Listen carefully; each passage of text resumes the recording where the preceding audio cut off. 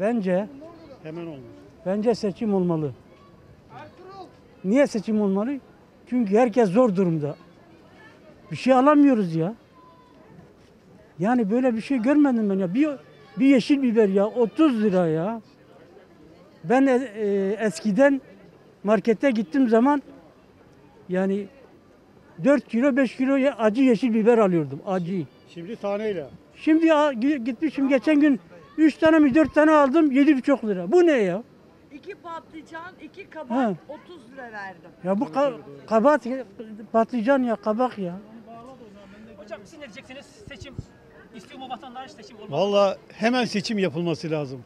Çünkü demokrasilerde madem demokrasiye inanıyoruz yapamayan gidecek, yapan gelecek kardeşim. Onu deneyeceğiz. Halk da, he, halk da uyanacak. Kardeşim bu adamda ısrar etmenin bir anlamı yok. Çünkü bunlar çok zenginleşti. Parayı buldular. Halktan koptular. Ya hepsi triplex villalarda yaşıyor. Ya düşün Bakırköy'de sahili Ataköy sahiline tamam mı? Yüzlerce daire yaptılar deniz kenarına. Eskiden bizim plajımız da orası. Şu anda bir daire 20-22 trilyon ya. Bir daireye 22 trilyon para. Bak ne kadar. Bu paralar bizde yok. Vatandaşta da yok.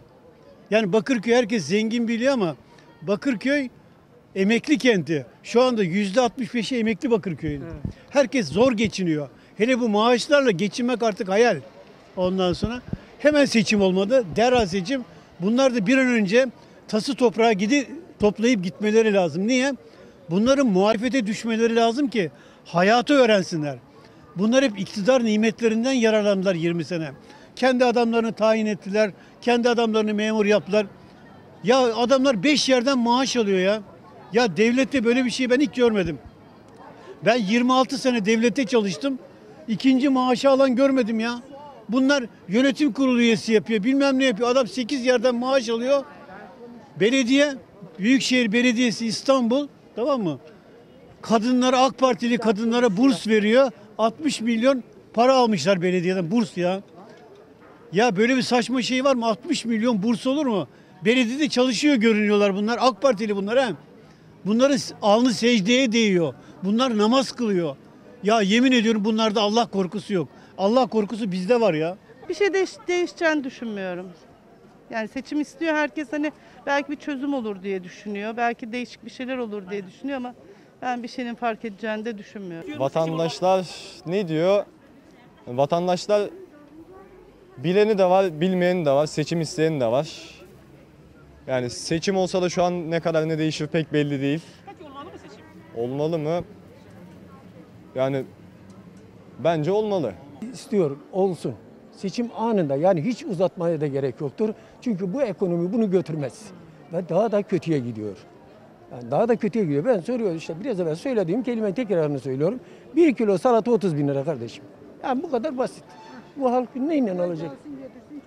Yani yazık çoluk çocukları nasıl besleyecekler bu insanlar? Seçim şöyle gerçekçilerse eğer gerçek yani halkı düşünüyorsa tabii ki değişmesi istiyoruz. Niçin değişmesine en az da bir yeni bir kan gelmesi lazım. Bir değişim olmalı mı diyorsun artık? Bana göre olmalı.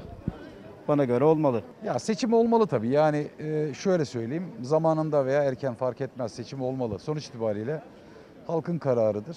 Nihai karar halkın kararıdır. Halk bu konuda neye karar verirse herkes buna da katlanmak zorunda. Ama e, şu bir gerçek. e, herkes çok iyi düşünmeli, taşınmalı diye düşünüyorum. Evet. Abla siz ne diyeceksiniz? Seçim olmalı mı? Ben ben ben bence de olmalı. Her ne kadar her seçim bütçeyi biraz daha yük bindiriyorsa da ama başka türlüsü de olmuyor. Çıkmazdayız yani. Bir çıkmaz görünüyor önümüzde. Ee, en azından bir değişiklik, bir bir şey olmalı yani. Seçim olmalı. Erken ya da eşimin dediği gibi ya da e, zamanında. Bence erken olursa daha iyi olur. Bir an önce ön- önümüzde ne olacak, ne bitecek onu ona göre karar verir. Kesinlikle acilen olmalı hem de. Ben seçimden yanayım. Yani demokratik olarak geldiler, demokrasiyle sandıkla geldiler, sandıkla gitmeliler. Aynen. Hiçbir şekilde hiç kimse sokağa çıkmamalı. Kimse kimseyle kavga etmemeli yani. Demokratik yollarla gelecek geldiler, demokratik yollarla gidecekler. Hesap sorulacaksa da demokratik yollarla sorulacak.